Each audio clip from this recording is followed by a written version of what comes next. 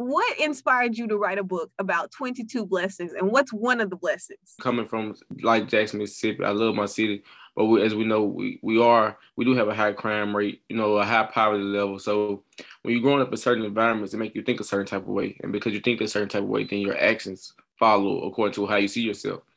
And so, um, like I said, when I was young, in and out of the streets, it just you know just because I didn't see myself properly. So now I'm trying to push the narrative of okay, it's so much the world has to offer to us. You know what I mean? So it's just about getting out and getting that exposure and seeing the world. So now I'm trying to push that mission to the youth. What do you think is the most shocking detail about your story so far? That's the name of the book. Actually, 22 is, is the number of times I got shot.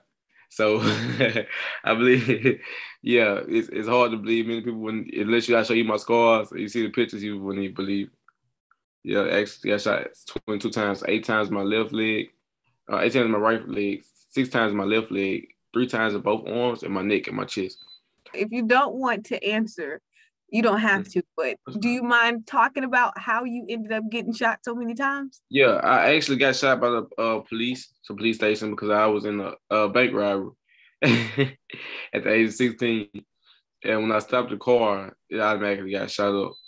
So, but, but like I said, but partially is on me as well. You know what I mean? Just because uh, when you're doing crimes and then in the nature, that's that's what can happen.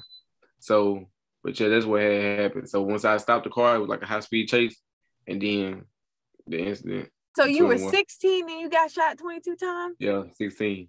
So and I wrote the you, book when I was 17. So it's just not getting published, or you just now like yeah, kind of yeah, because I had to, once I got shot, that was March 14th of 2017. And so um, then I had to go, Had, of course, I went to jail uh, October 19, 2017. And so once I got out, that's so that's like a year in itself, just the process. And then when I got out, uh, I graduated on time from Callaway High School, Jackson, Mississippi. Uh, then I started going to Holmes Community College. Uh, I'm an artist as well, so I do music. And then I took a year off from college and then I went to I'm currently attending Alcorn State University. So, like I said, between music, school, my daughter I got a beautiful daughter now, uh, Damari Jones. So being a, between being a dad, the artist, and a student, I'm, i was constantly going. You know, so as I got to a place where I like with um the pandemic, it gave me the time just to sit down again on a positive note. Speaking to kids that think that street life and other things like that are for them right now, what do you say? Mm-hmm.